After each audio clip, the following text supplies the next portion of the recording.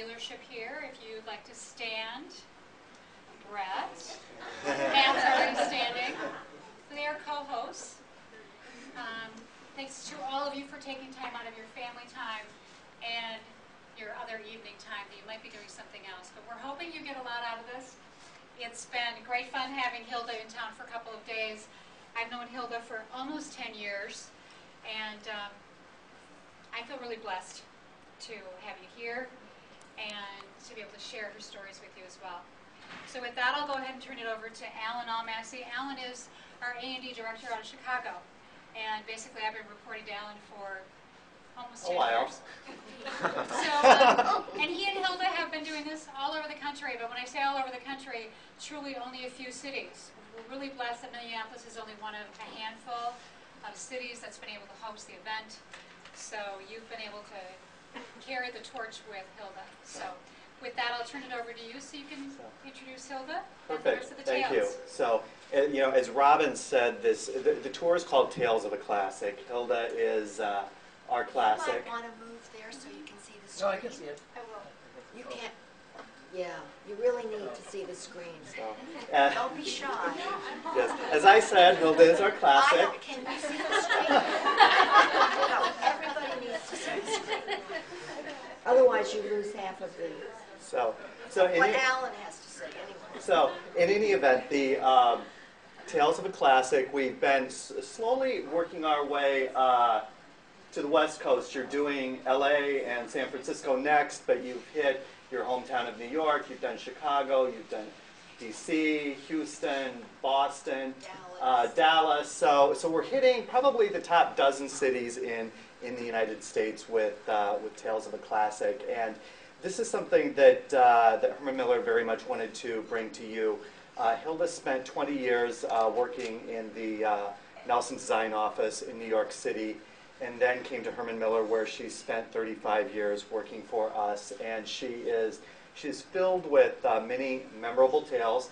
The way tonight's program works is uh, it's a Q&A session. So I'll feed Hilda a question and, uh, and she'll answer it for Or all not. of you. Or, or not. and, uh, and there's somewhat of a logical sequence that this flows through. One of the fun things I've learned about doing this with Hilda is no, no event is like the next because DJ De Pree was the founding father of Herman Miller, and um, he had read about George in Life magazine. George was the editor of Fortune in Life magazine. George was less a designer than he was a philosopher, a writer, an incredible speaker. He had written um, in Life magazine about a storage wall uh, that was his own concept. And DJ saw it and asked to meet with him. Gilbert Rohde had died. Gilbert Rohde had already started the transition from gingerbread to modern. So he asked George to come to Michigan and uh, liked him and suggested that he come on board as director of design. And George said, I don't know anything about furniture. I, I really don't think I'm your man and I think you should look elsewhere. So George came back to New York, and uh, DJ interviewed several other more uh, probable designers, didn't like any of them, came back to George and said, we really want you. And that was the beginning of a incredible relationship. I don't think there was ever a formal contract, uh, to my knowledge. Um, I think it was a handshake. And the relationship um, with George and Herman Miller went on for 35 years. 45 until 45. 1986. So, So it was a love story. Many, many years later, when uh, Warhol became famous, we were then in a brownstone that we had bought that housed the Nelson residence above and the shop below. The files were all in the basement, and Andrew, Andy, had become very famous, and his stuff was very valuable, so I decided I would find them. And I decided to, if I found them, that I would be gone. And I would leave George and become wealthy in my own right. So I spent two days in the basement going through every file. Ernest threw them out. Six months later, George, the light went off in George's head, and he said, by the way, what happened to those uh, Warhol renderings? And I said, I knew you were going to ask me that. I went through the, all the files in the basement. Ernest threw them out. I just wonder, his secretary, a Warhol secretary of 40 years, just found some in her uh, closet, and it hit the papers. She had no idea what they were worth. Well, they sold them at Sotheby's for a lot of money. So I have no idea how much they would have been worth, but probably a lot of money. I'm sort And so I'm still working for a living. is what it amounts to. So one, one day we got a, a big box of foam, and each piece was uh, looked like a marshmallow. It was white, and so the designers decided to play around with it as a joke. So they were playing around with it, and Irving said, "Well, why don't we make a frame for it?" This was all for fun. Well, Hugh De Pree came to town, and we had put this together.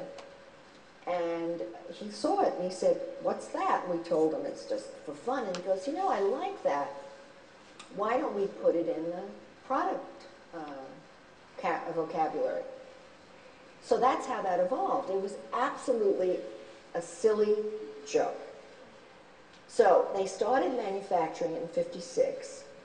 We must have sell, sold all of 10, and we took it off the market. So that's the story. now here's a photo of you on the marshmallow This was sofa. 1956. How did you end up as the, the model for the uh, Nelson Well, sofa? I was then still the receptionist, and um, we had no money. George was took advantage of everything he could possibly, and I was young, I was pretty, I was photogenic, and I was free. So I became his muse, and so I became the woman on the marshmallow sofa. And subsequently, whenever they had a prototype that they wanted to take pictures of, I sat in it. Now, in 1999, Mhm. uh, I was with Herman Miller, of course, and they decided to bring it back.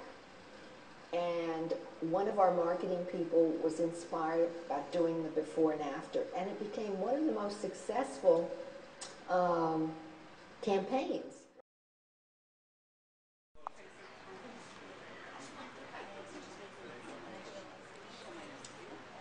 Are. Um, There are some principals from the dealership here, if you'd like to stand. Brett, Pam's already standing. They are co-hosts. Um, Thanks to all of you for taking time out of your family time your other evening time that you might be doing something else. But we're hoping you get a lot out of this. It's been great fun having Hilda in town for a couple of days. I've known Hilda for almost 10 years, and um, I feel really blessed to have you here and to be able to share her stories with you as well. So with that, I'll go ahead and turn it over to Alan Almassey. Alan is our A&D director out of Chicago.